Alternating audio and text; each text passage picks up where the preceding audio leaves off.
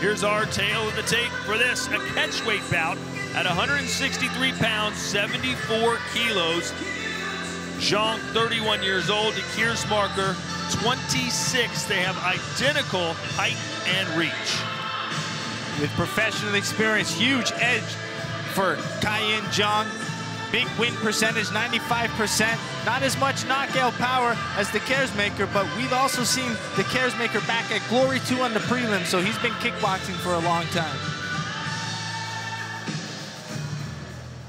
Once again, this catchweight bout scheduled for three three-minute rounds. And introducing first, standing on our left and fighting out of the black corner, an ISKA European and World Champion. He comes to Shenzhen with a professional record of 18 wins, 6 losses, 1 bout scored even, and 10 career knockouts. At 5 feet 11 and 1 half inches, 1.82 meters, he weighed in at 162.7 pounds, 73.8 kilograms. He fights tonight out of Belgium. 这是一场协议级别的比赛，比赛三回合，每回合三分钟。首先介绍黑脚选手，身高一米八二，体重七十三点八公斤，臂展一米八二，十八胜六负一平战绩，十次 KO 对手，ISK 世界冠军，来自比利时。Ladies and gentlemen, introducing Cedric de Keersmaeker. Here now is his opponent, fighting out of the white corner, a two-time world Sanda champion. As a professional, an impressive record. 76 wins, just three losses, one bout scored even, and 15 career knockouts. He stands 5 feet 11 and 1 half inches, 1.81 meters, and he weighed in at 162.7 pounds, 73.8 kilos, fighting out of the Henan province of China. 白脚选手， 身高一米八一，体重七十三点八公斤，臂展一百八十一点五厘米，职业战绩七十六胜三负一平，十五次 KO 对手。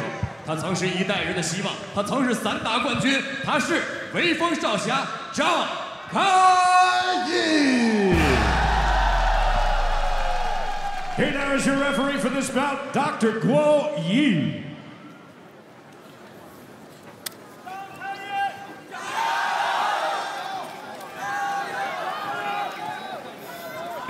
Okay, Jing, no elbow. Just listen to me. Go on. Go.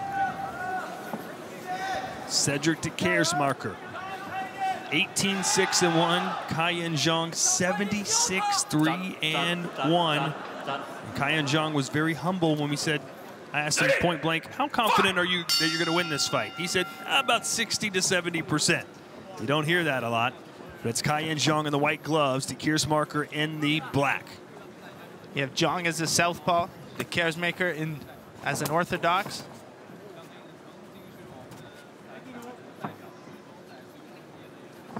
Zhang has really good low kicks, so he plans on using that, and good uppercuts. Ooh, de Keersmaeker going right after the Chinese legend, backing him up into the corner. And his favorite strike is the head kick, the Keersmaeker, so let's see how he mixes that in with his unpredictable style. In his corner, he's got Philippe Verlinden, who they train frequently. And Philippe said that he throws things on angles which you don't see. So that's what makes him very unpredictable with his style.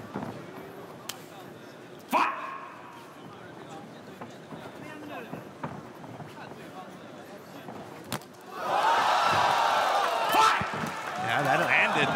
Big roar from the crowd. There's that, there's that Sanda style, that explosive kicking. Not known for his knockout power, but boy, would he love to get one here tonight.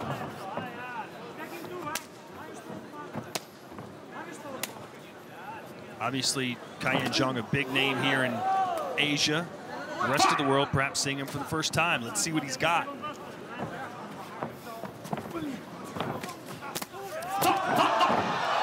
Good body kick on the way down by De. Zhang needs to be careful with those sweeps. The difference between Sanda and Glory rules. Can't sweep, can't trip. No dumps.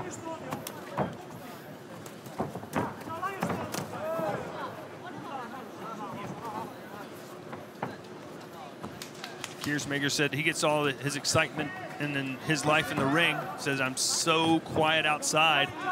Mostly I just like to sit around and hang out with my wife.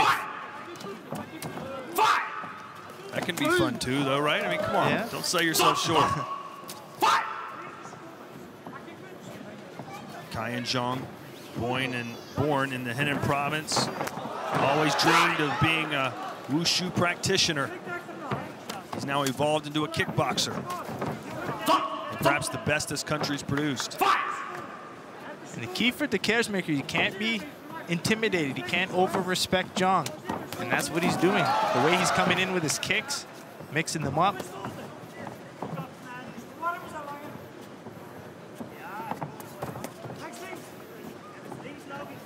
Pretty close opening round. Mr. the Maker swings wildly with that left hand, misses. Ooh, went up top. Nice shot by the Belgian.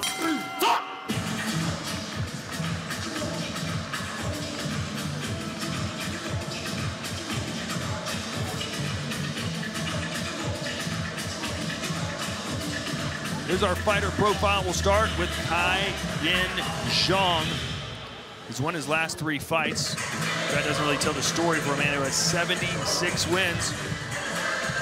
Says he's an intelligent fighter, has a high in-ring IQ, and knocked out the reigning WBC World Muay Thai champion back in 2009. That was a long time ago, though, Joe. Yeah, he even has a 2010 win over John Wayne Parr, which is really impressive. Cedric the Maker from Bulls Gym. You see in his corner, Philippe Verlinden. And he has that unorthodox style. He's really trying to mix in those kicks, find different angles to try to land. He's on a current five-fight win streak, and he actually fought at Glory 2 prelims. So many shows later, he cracks a co-main event spot. Round two, scheduled for three. You're watching Glory 57 from Shenzhen, China.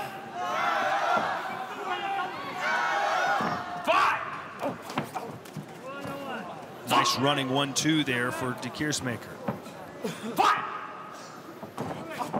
Open scoring for the judges. Give it to the Belgian. Yeah, he's pressing the action. He's scoring and throwing more. Zhang's waiting a little too long to get any offense off.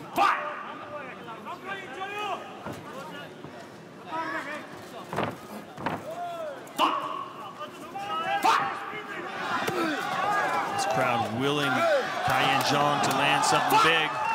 That's a nice start. Good body shot. Maker claims it was low. I don't think so. No, it didn't look low.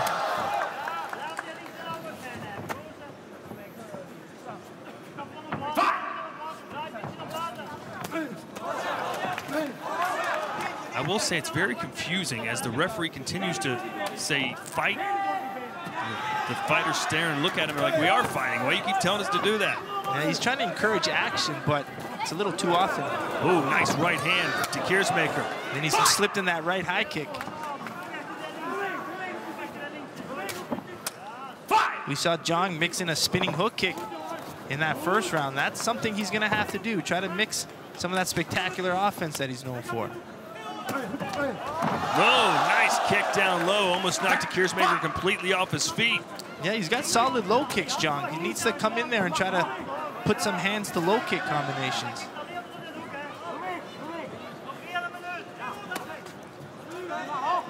Our matchmaker, Cor Hemmers, writes an article before every event.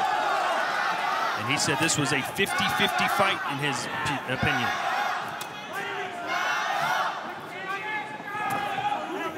Calls it his matchmaker notes. You can read it on glorykickboxing.com.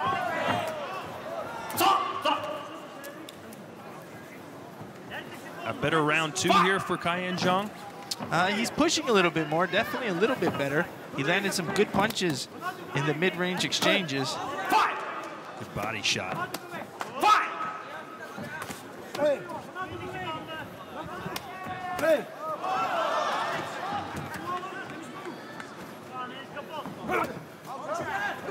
Oh, right hand connects. Maker walks right through it, though. He's throwing a lot of leather in the corner. And Zhang's comfortable just sitting there exchanging. Not really worrying about moving his head or defending the punches. And right in the middle of that big exchange, our referee yells fight. Maybe that's his only English word he knows. Good round two.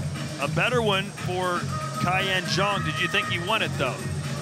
Uh, to win it, I, it's it's kind of tough because the Keersmaeker's pressing, and I think that forward pressure may score well for him. You know, Zhang stayed against the ropes a little bit longer. Definitely a better round. I'm, I'm predicting a, a split um, in that round between the judges.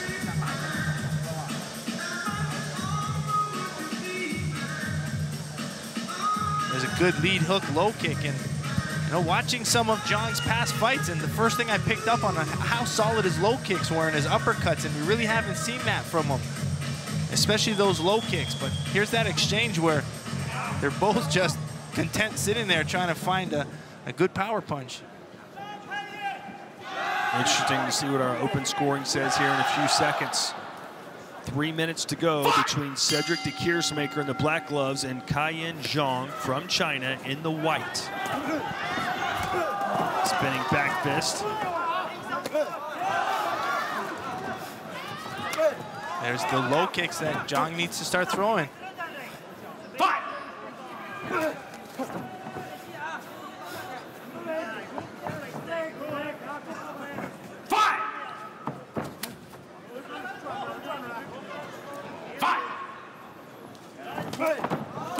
Nice low kick. Yeah, he's got some powerful kicks coming.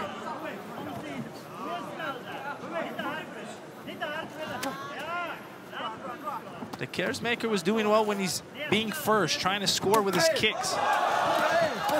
Good Oh. power, overhand right from the Keersmaeker. And that knocked him off balance. The judges scores from round two. Four of the five give it to Kaiyin Zhang. So the winner of this third round will take the fight.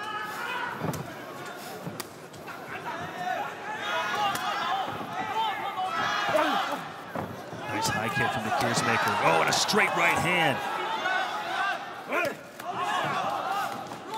Keersmaeker's got these high kicks that come out of nowhere.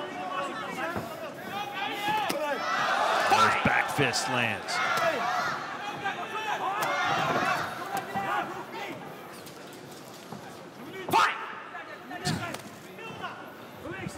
You're used to a referee yelling either break or stop, not fight 30 times, just like that. Couldn't even finish the sentence.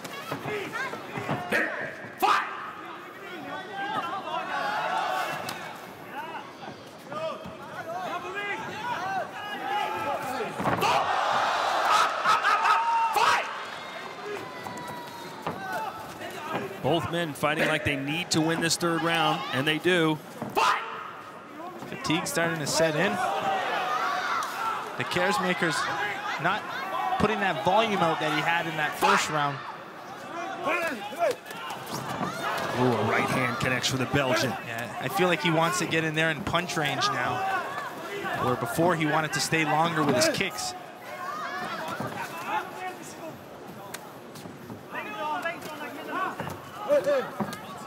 More output from the Keersmaeker. That could be the difference.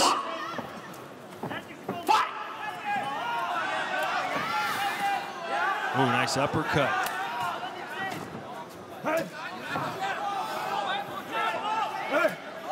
Straight left, splits the guard. Now it's the Keersmaeker with a spinning back fist. Seems to be the, the strike of the night. Everyone's been throwing that spinning back fist.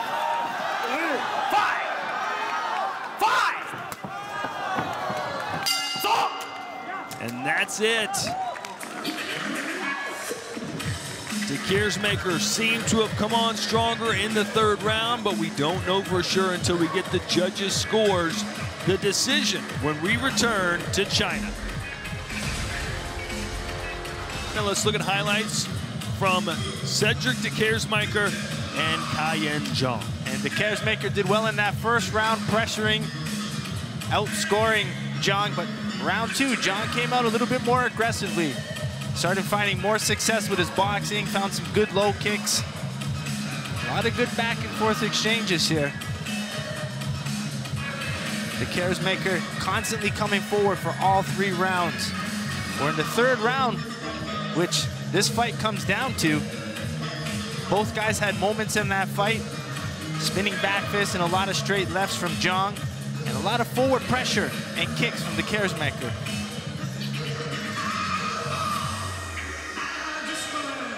Here's our strike statistics. Kicks 45 to 16.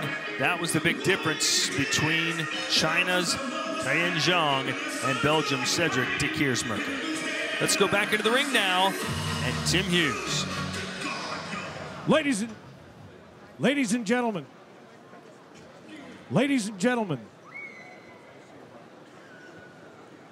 ladies and gentlemen, after three rounds of kickboxing, we go to the judges' scorecard. Here now are the totals. They score this bout 30-27 Zhang, 30-27 De Keersmaker, 29-28 Zhang, 29-28 De Keersmaker. And our fifth and final judge scores the bout 29-28 for your winner by split decision, Cedric de Keersmaeker. I was getting a little worried there, Joe.